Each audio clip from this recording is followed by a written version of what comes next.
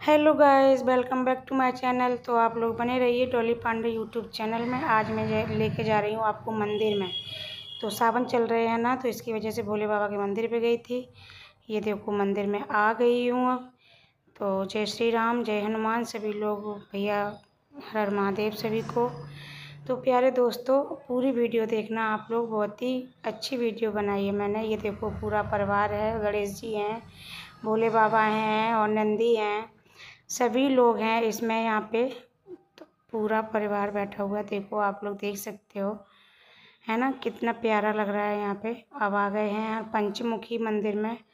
वहीं है हमीरपुर में ही है। राम, लक्ष्मण, सीता और पंचमुखी हनुमान जी और इधर सिंहासन में लड्डू गोपाल भी बैठे हुए हैं। तो प्लीज़ कमेंट बॉक्स में आप लोग ज़रूर बताइएगा वीडियो कैसी बनी है और जय श्री राम, कमेंट में ज़रूर लिखिएगा।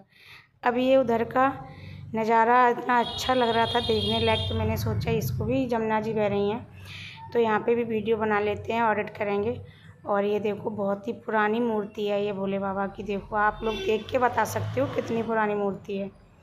देख के बता सकते हो, अनुभव लगा सकते हो कि बहुत पुरानी मूर्ति है यहाँ पे ये।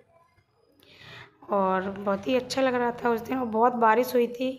तो शायद मैंने शॉर्ट वीडियो भी डाली है, आप लोग देखना उसमें। कि कितने पैर गंदे हुए हैं मेरे। अब यहाँ फिर मंदिर में आ चुकी हूँ। मंदिर में वापस आ गई हूँ।